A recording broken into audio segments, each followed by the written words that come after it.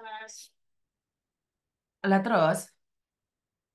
Terus saya itu enaknya gimana ya? Ini soalnya agensi juga nggak ngurusin saya.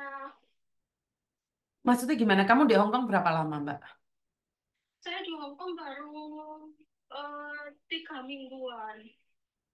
Di Hong Kong, Jalan tiga minggu. di Hong Kong baru tiga minggu terus? Iya, terus saya di interminate. Lah terus? Karena bahasa saya itu kurang yang pertama itu terus beliau apa majikan saya itu nggak nggak telaten gitu loh kayaknya. Ah, ah, terus? Soalnya job saya itu anak kan dua anak harus sering ngajak ngobrol. Sedangkan saya kan bahasa cuma siu-siu jadi majikan saya itu nggak itu nggak sabar. Oke, Miss Yuni lagi live nih. Jangan menyebut nama siapa pun termasuk namamu sendiri ya. Karena saya tidak ingin setelah viral kamu minta take down.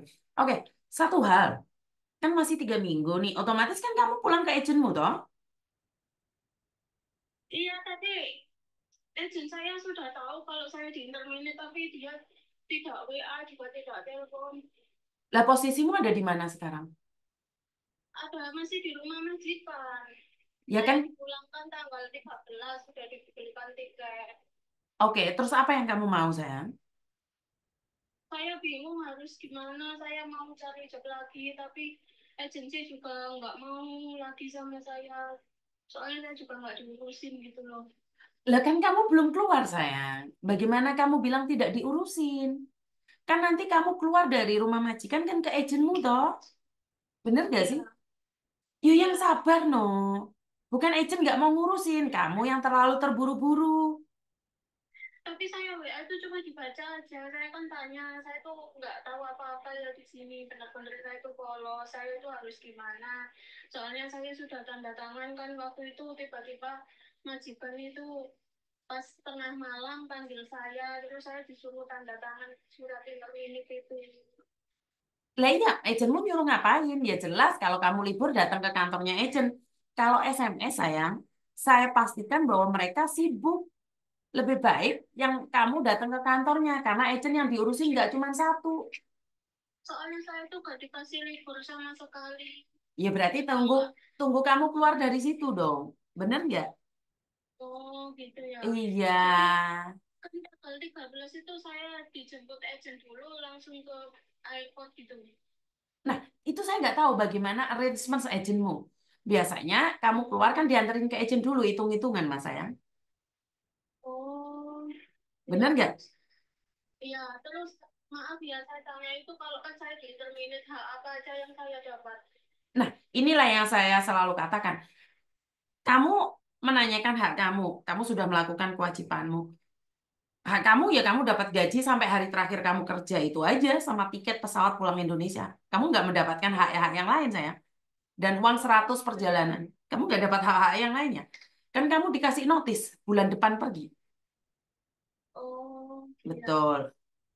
Nah, kan kamu tadi bilang nih, kamu masih dikasih kesempatan ke ke sama majikan, otomatis lakukan yang terbaik. Siapa tahu majikan merubah pikirannya untuk tidak nginterminate kamu. Kan karena kamu nggak dia sudah ambil pembantu lain, sudah ada ambil interview orang lain sudah deal. eh, inilah yang ingin saya katakan bahwa walaupun deal kalau memang masih rezekimu dan kamu bisa merubah dirimu lebih baik lagi, pastinya majikan tetap mengharapkan kamu, saya. Iya. Tergantung dari kamunya. Ya, kekurangan saya itu cuma bahasa saya itu kurang. Jadi mereka itu nggak sabar nunggu saya itu sampai bisa. Terus di job itu kan CCTV-nya cuma katanya di apa ditulis cuma ada di ruang tamu sama di apa itu di dapur. Ternyata di kamar juga dikasih CCTV. Di mana-mana ada CCTV kecuali kamar mandi aja. Terus masalahnya di mana? Ya terus saya tuh kan saya selesai kerjanya itu setiap hari itu jam satu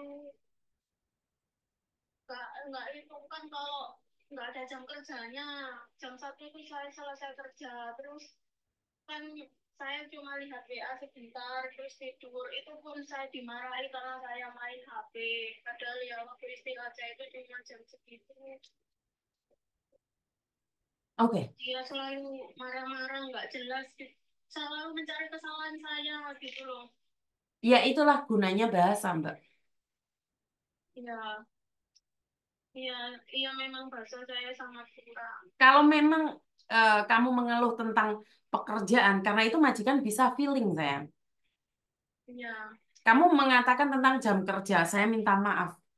Yang saya tahu di Hong Kong ini kita nggak punya jam kerja, loh. Jadi kalau kamu berkata tentang jam kerja, saya saya ingin membandingkan kamu dengan senior-seniormu yang dulu. Iya. Mereka sampai tengah malam, sampai pagi berangkat. Kamu di mana sih? Kok suaranya angin besar sekali? Kalau di luar ini, soalnya kalau di majikan saya nggak bisa telepon. Hmm. Ini saya barusan mau diajak keluar tapi mobilnya nggak muat, akhirnya saya suruh pulang lagi. Nah, ini loh dok, yang ingin saya katakan. Apalagi kamu nggak pengalaman. Karena itu kamu harus banyak doa dan berusaha, sayang. Karena apa yang bisa kamu lakukan? Loh, terus kamu sendiri mengeluh, kamu menginginkan yang terbaik, sementara kamu tidak bisa memberikan yang terbaik. Iya, Benar nggak? iya, iya, iya, Miss. Karena itu berdoa. Lah kalau kamu sendiri mengeluh, ya jelas majikan lihat kamu nggak ngeh dengan gaji 10 juta. Mereka nggak terima, sayang. Iya, Ya, berdoa bisa merubah segalanya dan kamu jangan baperan. iya, Heeh. Paham ya? Berdoa. Nanti kalau sudah pada akhirnya mereka tidak memberikan hak-hak kamu, kamu baru laporan sama saya. Nah ini kan mereka belum melakukan apa pun, dok. Selama tujuh hari setelah keluar dari majikan itu kita nggak bisa menuntut. Lah apalagi kamu belum keluar, sayang. Ngerti nggak maksud saya? dijemput agent ya. Iya, ya kamu yang sabar dulu. Berdoa. Ngerti? Iya, Ya wes, ada yang lain lagi? Tidak ada, cuma itu saya, soalnya saya tuh bingung kok. Agent saya WA juga cuma juga. Dok, agent itu bukan cuman cuman satu orang kamu aja, sayang. Iya, Bener nggak? Harus sabar, dok. Heeh. tiba ditawarin apa sama orang apa itu ganti agensi. Saya tuh juga bingung harus gimana. Jangan, jangan, karena kamu masih baru di sini. Jangan ganti agent. Oke? Ya, Miss. Iya, Oke. Hati-hati ya. iya, terima kasih ya, Miss ya. Terima kasih. Iya. Di luar sana banyak sekali iming-iming dengan mengatakan dengan eh, agent ganti agent. Jangan percaya sama orang-orang di luar sana begitu saja. Karena saat kalian punya masalah, sebenarnya tetap agent kamu aja yang bertanggung jawab. Dan setelah kamu keluar dari rumah majikan, sebelum tujuh hari kalian itu tidak bisa menuntut majikan.